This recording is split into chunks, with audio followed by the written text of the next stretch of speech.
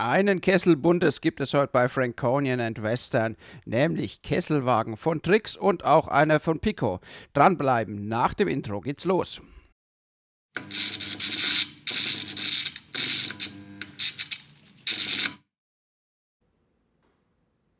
Seit kurzem erhältlich und mittlerweile auch schon wieder fast ausverkauft ist ein 6er-Set mit Kesselwagen von Trix unter der Artikelnummer 24206.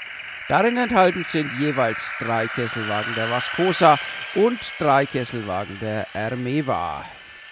Bei den Vascosa-Wagen handelt es sich um ZANS, bei den Ermeva-Wagen um solche der Bauart ZACNS. Allen Sechsen gemein ist aber, dass nur die Hälfte des Wagens in den Farben der jeweiligen Betreibergesellschaft lackiert ist. Die andere Hälfte ist in den Farben der österreichischen Mineralölgesellschaft OMV gehalten.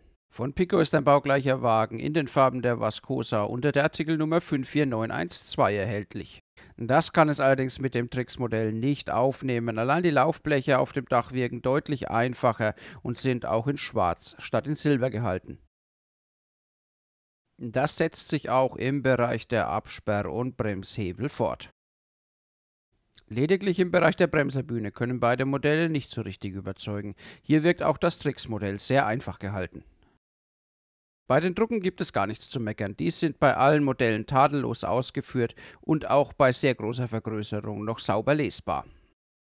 Während die Trixwagen Kerosin transportieren, bleibt der Inhalt des Pico-Wagens ein Geheimnis der Sonneberger. Die Gefahrentafel fehlen bei diesem Modell.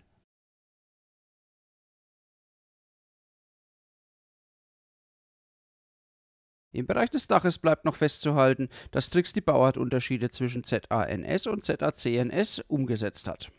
Bei beiden Herstellern bekommt man keinerlei Zurüstteile. Für die Vitrinenbahner mag das von Nachteil sein, aber der Modellbahner mit Anlage freut sich über sehr schöne Modelle in ausgezeichneter Bedruckungsqualität für einen aktuellen Kesselwagenzug. Die Trixwagen kommen laut Liste auf 45 Euro pro Wagen. Das Pico-Modell ist, zumindest laut Liste, sogar noch 5 Euro teurer. Aber trotz seiner dargestellten Mängel gegenüber den Trix-Modellen hat es zwei entscheidende Vorteile. Zum einen ist es keine nervige Einmalauflage, die sofort wieder ausverkauft ist, sondern nach wie vor erhältlich ist. Zum anderen ist der Straßenpreis deutlich unter 40 Euro angesiedelt.